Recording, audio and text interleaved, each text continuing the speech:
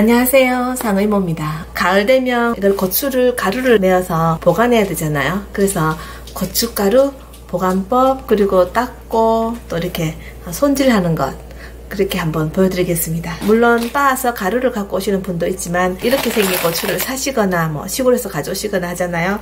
그러면 이걸 닦아야 되거든요.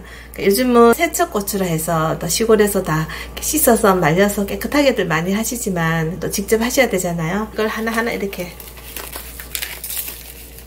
다 닦으시잖아요. 이렇게요.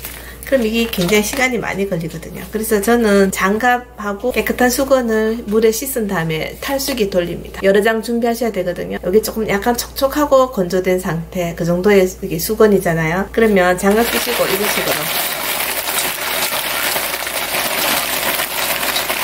이렇게 장갑으로요 닦는 방법이 있고요. 저희 어머님이 하시는 방법인데 수건을 깨끗하게 해서요.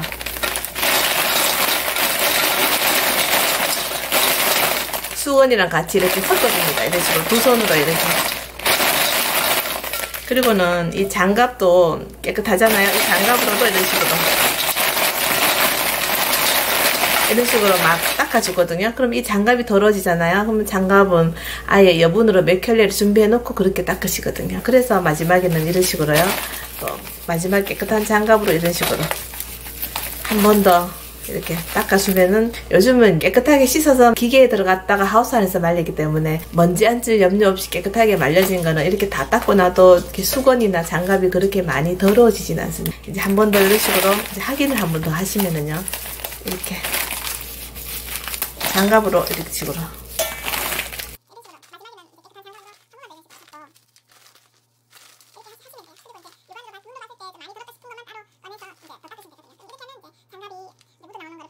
이렇게 손으로 꼭지를 뜯으시든지 아니면은 가위로 꼭지를 이렇게 자르시든지 이렇게 준비하시면 돼요. 고추의 씨가 좀 필요하신 분 있잖아요. 저희는 이 고추와 고추 씨를 같이 다 갈거든요. 그러면 씨는 따로 빼놔야 됩니다. 그러면 고추 씨는요 따로 이런 식으로 좀 빼놓습니다. 이렇게 고추씨를 따로 빼놓고 고추씨가 들어가는 요리 있죠. 그런 데다가 따로 쓰시면 돼요. 다 하실 필요 없고 내가 필요한 만큼만 고추씨를 조금 빼놓겠습니다. 이런 식으로.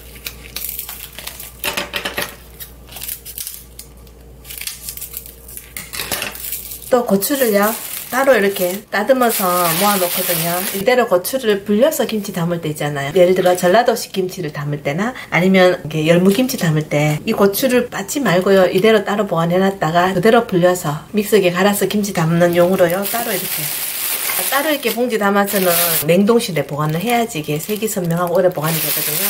근데 너무 많이 보관하시지 말고 딱 드실 만큼만 적당히요. 공기를 떼고 넣으시는 게 좋아요. 이렇게 눌러주면 공기가 빠지거든요. 자, 이렇게 납작하게 만든 다음에 냉동실에 넣어놓으시면 돼요. 두근만 고추장거리로 빻았습니다. 이거는 바싹 말린 다음에 이렇게 빻으셔야 되고요. 방금 제가 방간에서 빻았거든요. 그래서 이렇게 뜨끈뜨끈해요. 아직 금방 빻았기 때문에. 뜨끈뜨끈한 고춧가루는요. 이렇게 다라에 담아가지고 좀 식힌 다음에 김치 냉장고에 넣으시든지 아니면 냉동실에 담아서 넣으시면 돼요.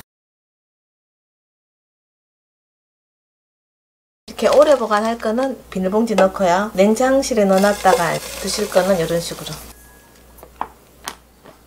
담아서 냉장실에 문에 넣어 놓으시면 또 필요하면 꺼내 쓰시면 되거든요. 김치 냉장고에 넣을 거는요. 김치통 비었는 곳에 다 넣으시면 돼요. 이거는 김치 냉장고에 넣어두고 그리고 이거는 다 냉동실에 넣을 거거든요. 이런 식으로. 이게 전부 다 수물건이에요. 이거는 냉장실에 두겠습니다. 이거는 실온에 두겠습니다. 이런 식으로 해서 드시면 돼요. 이렇게 고추씨는 필요하시면 이렇게 조금 나눠서 놔두셔야 되고요. 이거는 생고추 남은 거를 이렇게 빨래줄에다 널어 놓은 거거든요.